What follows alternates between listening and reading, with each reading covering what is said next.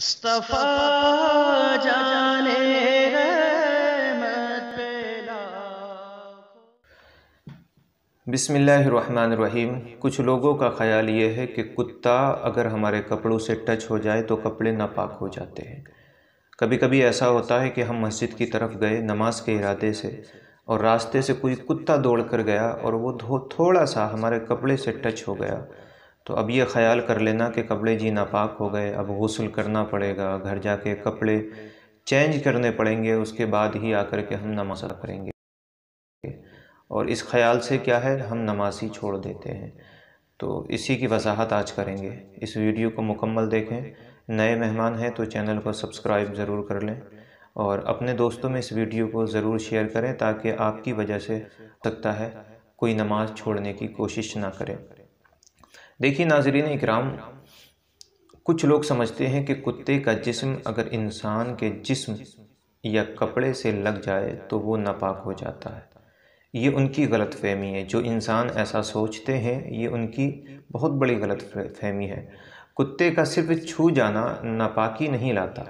اگر کتا چھو جائے تو وہ ناپاکی نہیں لاتا۔ ہاں اگر کتے کے جسم پر کوئی ناپاکی لگی ہو اور آپ جانتے ہیں کہ وہ ناپاک چیز ہے اور وہ اس کے جسم سے آپ کے آ کر لگ گئی۔ تو جہاں لگی ہے وہ جگہ ناپاک ہے۔ یوں ہی کتے کا پسینہ اور اس کا لعاب یعنی تھوک ناپاک ہے۔ یعنی تھوک اگر کتے کا نکل کر کے آپ کے کپڑے پہ کہیں لگ گیا ہے تو جس جگہ پر لگا ہے، اس جگہ کو آپ پاک کر لیں۔ یا اس کا پسینہ، اس کو اتنا پسینہ آ رہا ہے کہ آپ کے ٹچ ہوا ہے اور آپ کے کپڑے سے پسینہ لگ گیا تو اس جگہ کو آپ پاک کر لیں۔ دو چیز۔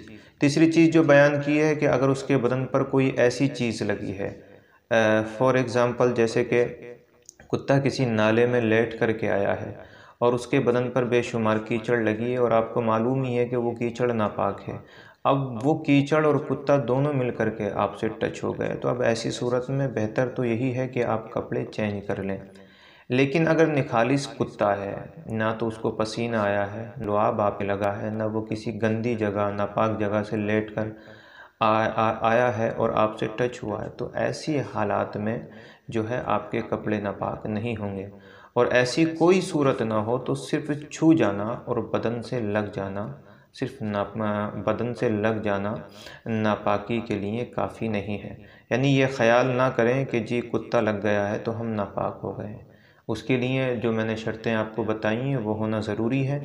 یا تو آپ کے لعاب لگ جائے، یا اس کا پسینہ لگ جائے، یا کسی نالے میں، گندے پانی میں، ایسے پانی میں جو ناپاک ہو، برا ہو، اس میں آ کر لوٹ اٹھ کے وہ آیا ہے، وہ لگ جائے۔ تو پھر آپ کو بہتر یہی ہے کہ آپ کپڑے بدلیں اور پھر سے نماز ادا کریں۔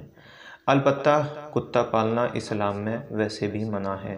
ہاں اگر شکار یہ حفاظت کی نظر سے آپ نے پالا ہے تو پال سکتے ہیں، لیکن اس کے لیے بھی فتح رضویہ جو اعلیٰ حضرت نے لکھی ہے، اس کے اندر اس کا خلاصہ آپ پڑھیں، انشاءاللہ سب سمجھ آپ کو آ جائے گا۔ حفاظت کی نظر سے اگر آپ پالتے ہیں تو کچھ راستے نکلے ہیں، کتا آپ پال سکتے ہیں۔ حفاظت کی نظر سے مراد میری جیسے کہ آپ کو اندیشہ ہے بدماشوں کا گھر میں آنے کا، یا چوروں کا اندیشہ ہے، یا کسی اور چیز کا اندیشہ جس سے آپ کو برباد ہونے کا خطرہ ہے، یا جان کا خطرہ ہے۔ تو ایسے حال میں کتے کو پال سکتے ہیں تاکہ وہ آپ کی حفاظت کرے۔ لیکن بہتر طریقہ یہ ہے کہ اس کے رہنے کا، سونے کا، بیٹھنے کا رہنے سہنے کا جو انتظام ہے وہ الگ کر دیا جائے تاکہ وہ گھر کے برتنوں میں منہ نہ ڈالے اور گھر کے برتنوں میں زیادہ گھومے پھرے نہیں۔ لیکن اس کا خلاصہ آپ کو پڑھنا تو میں کتاب کا نام آپ کو بتا ہی دیا ہے، فتح و رضویہ جو امام اہل سنت مجدد دین و ملت امام احمد رضا خان فاضل بریلوی نے لکھی ہے۔ اس کے اندر آپ اس کا خلاصہ پڑھیں، انشاءاللہ سب سمجھ جائیں گے۔ السلام علیکم ورحمۃ اللہ وبرکاتہ۔